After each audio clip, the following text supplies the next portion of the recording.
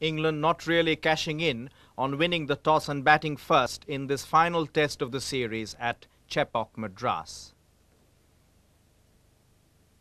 Mankad the hero with 8 for 55. Apart from the hundreds there by Pankaj Roy and Polly Umrigar, a good knock of 61 by D.G. Phadkar. England bowling fairly unimpressively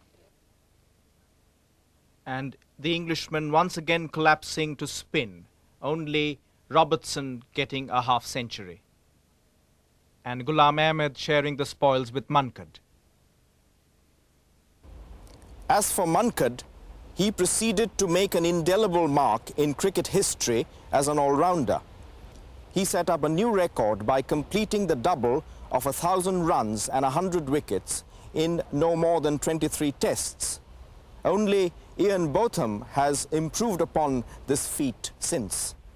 Indeed, one of the finest and most famous of his Herculean feats was uh, here at headquarters, when he, in 1952, scored 72 and 184 and bowled a marathon spell of 73 overs, taking five wickets for 196. This match is widely and not wrongly referred to as Mankad's test.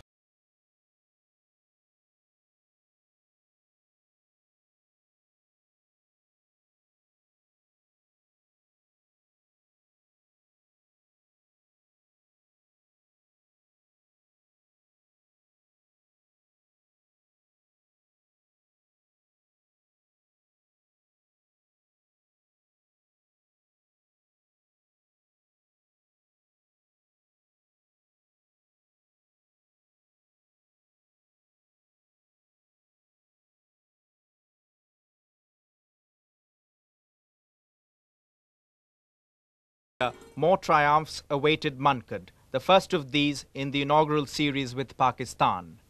He was in a really